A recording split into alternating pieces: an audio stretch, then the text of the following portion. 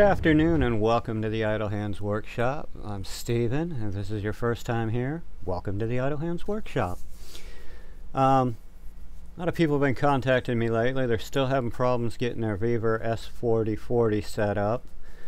Uh, so I know one of the things is going to be software right off the bat because what's installed on it and what comes with it is just absolute crap. And it doesn't work.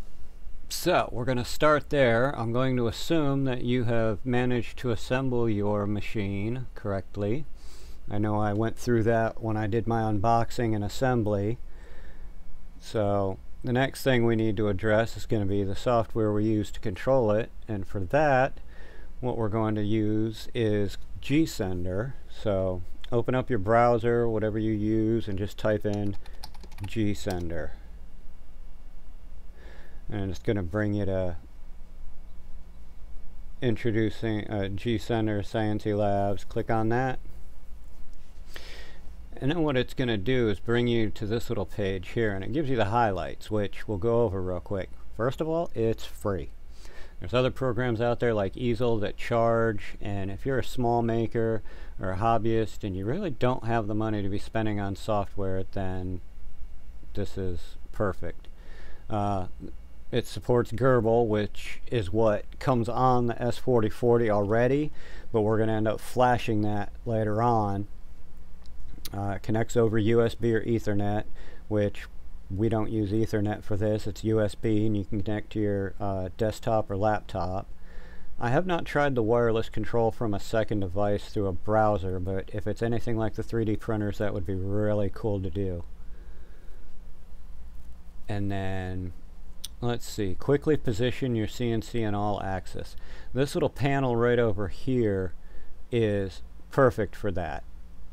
It lets you uh, jog the spindle around and you've got three different settings here. Rapid I think is 10 millimeters, uh, normal is 5, and then precise I think is 0.5 millimeters, just itty bitty little bit. And you can control X, Y, and Z axes like that uh, preview G-code with 3D visualization and other information. And that's what this shows here. It'll actually plot out what it is you're going to be cutting and show you where it fits on the board and you can adjust your clamps or whatever as need be.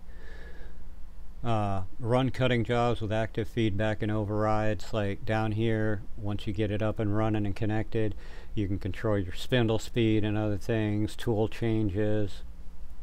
Uh, Leverage key maps for full keyboard control or use of a joystick. You, yeah, you can program your keyboard however you want. Uh, like for me, I got a Windows PC. Hush, don't want to hear it. And uh, I can hook up an Xbox joystick, program the buttons, and control the CNC that way if I wanted. And much more. Yes, there is much more.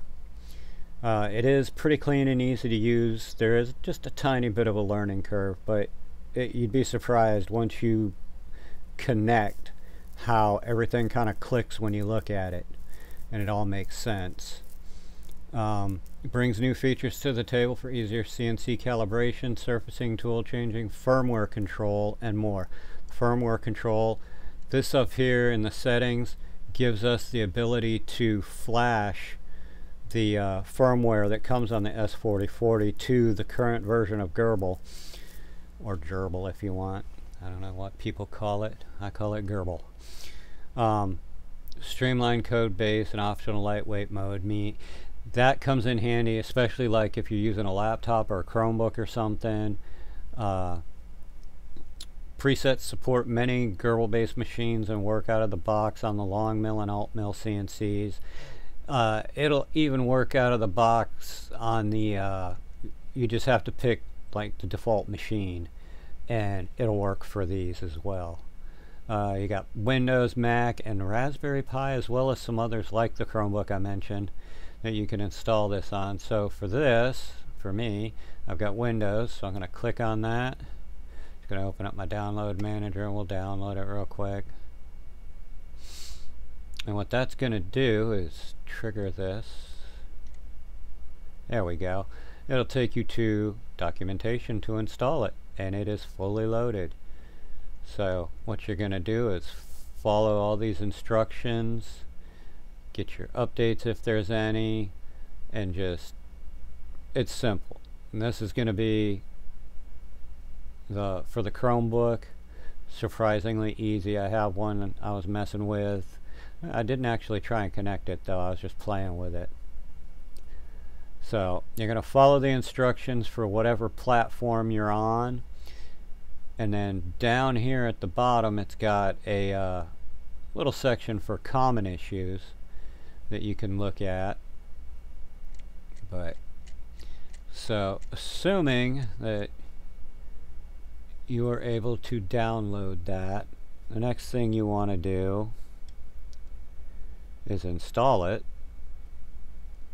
you know once you get it installed you're to come back and we're to fire it up. Hopefully mine won't take forever. Sometimes it lags on loading, sometimes it doesn't. Um, I'm actually in the house because I feel like crud and yeah, I can't hardly breathe. Everybody's like, oh, you got COVID, COVID, uh, COVID, COVID, COVID 25. I'm like, yeah, you can bite me. But, uh, so I'm inside. It's actually cold out. It's been down, getting down to freezing at night. There we go. It's firing up. So, it says we are disconnected. Let me see if I can power on my... Yeah, it looks like it will. I am using my laser engraver at the moment to uh, connect to. Just so we have a reference to look at. Uh, oh, we, we have an update. I'm not going to bother with that at the moment. Uh, you when you download if you're watching this and you follow the instructions and download it you should be able to uh, get the latest version so I'm not going to worry about the update at the moment we'll get rid of that um, things to look at um, like I said up here at the top well first thing we're going to do is I already showed you if you've got your CNC hooked up to your computer by the USB and you open this up you can come up here to connect to machine and it should show you like my uh, laser is on COM7 it's using Grbl. It's got the baud rate set nice and high. So I can click on that to connect to it. If you do not see your machine listed here, then you need to go back, use the uh, flash drive that came with your CNC and locate the USB drivers. They're like cheese or something is what it looks like and install those close out gSender, open it back up, and then come back here and try and connect. If you get to where you can see your machine, it won't say what it is. It'll just show a port. You're looking for a used Grbl, which coincidentally is what my laser engraver uses. So this works. So we're connected. It'll tell you it's connected, it's idle, and all that.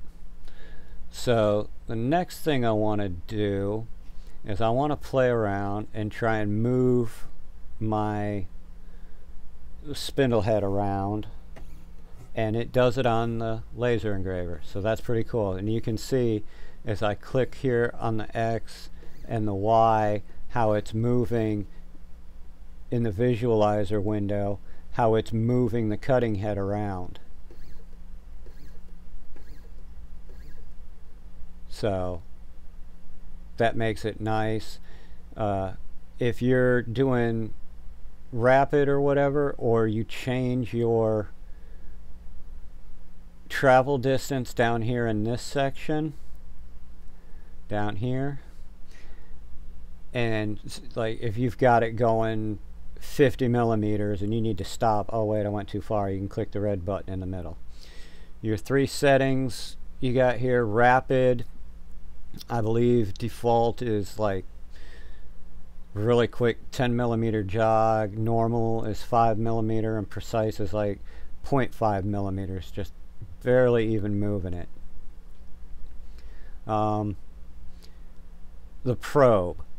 Forget about the stupid probe. You're not going to need that. When we get outside in the shop, when weather prevails, we'll uh, go over how to set everything. Because what we're going to end up doing is we're going to move our cutting head to the corner, bottom left corner of our workpiece. And now we're going to set our z-axis to just half a millimeter or a millimeter below the surface of our material and we're going to go from there we're going to come up here we're going to zero everything and then we're going to start our cut. And that's how we're going to do it. You don't need the probe. It's an extra step you don't need to worry about. So this is just a basic tutorial on hopefully getting you connected and showing you some of the things. Now, I don't necessarily want to do this on my laser engraver because I haven't tried using G-Sender. I use LaserGRBL, which pretty much the same thing it appears. But you can click on firmware. And uh, it's going to bring up your this drop down and what you want is where is it? Generic CNC and then connect on last active port and it gives you the this is what your Grbl settings are you can actually go ahead and edit the settings if you want but right out of the box you do not need to mess with any of this. Um, like I said we're just trying to get connected at the moment.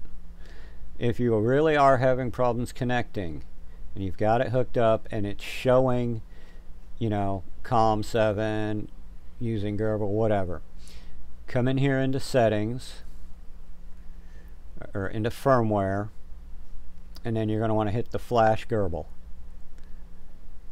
And that's going to rewrite the software inside that big black box to the latest version of Grbl.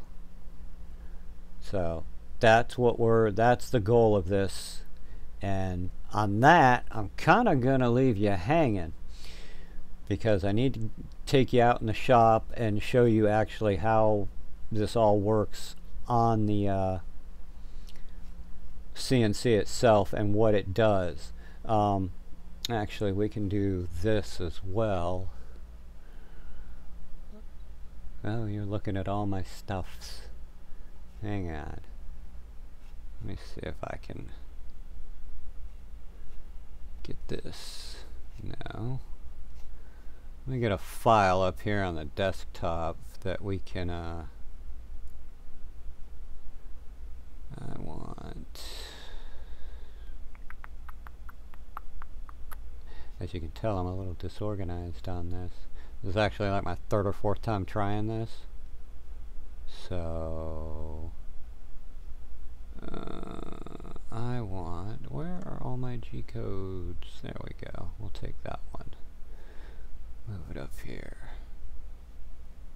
Alright, so quick look in my goodies box. Nothing really in there. So, yes, I play Battlefield from time to time. So, by default, it's not going to recognize the files we create later on in uh, Inkscape, which will be another tutorial. Um, so you're going to go down here and click on All Files. Now, oh, it's going to show you my 3D files that I've been working on as well for my models. Yes, I like Jägermeister. But the one I got up here is Gingerbread Men. Now this piece is designed to go on some Dollar Tree craft pieces that I found. They're rectangular and this setup will let me cut out two of them. And then the reason I wanted to bring this up is show you the visualizer, how it works. And if you click this, it actually switches it to the top view and you can see exactly this is your cutting head here and if we hit home, it takes it back home. You can also uh, right click, you know, and move it around. Um, if you do happen to set your workpiece up, you know, the bottom left corner is zero, that's fine. Um, I don't do that. I just jog it out a little bit. But you can use your scroll function on your mouse if you have it to zoom in and out. Let's see how close it'll let me get. Because you can see this is what it's actually going to do is make two passes around this gingerbread man to cut it out. You can make thinner lines. I use sketchy materials all the time like the Dollar Tree craft pieces that seem to be pretty decent plywood, but you never know. You never know what's inside. But again, you can use your X and Y to move it along.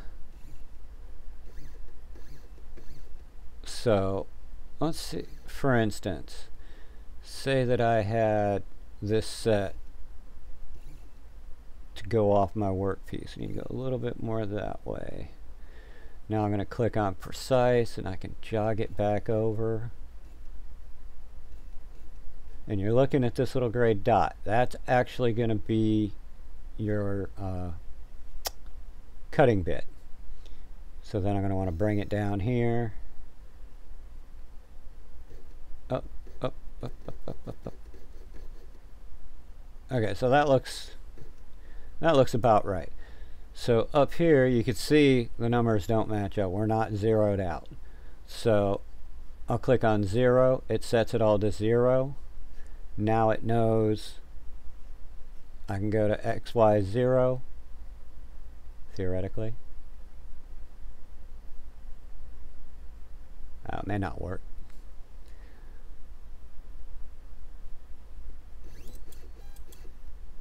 Oh, it did. Okay. It was already there. It reset everything. So now this is my zero. And it'll go through here and do my cut. Now when it's time to cut, if you're ambitious and everything seems to be working right, you can go ahead and click Start Job. Um, if you're sketchy on whether or not your G-code is going to work, you got it from someplace you don't know, click on Verify Job. And here you can see it's going to run around and actually pretend to do a cut.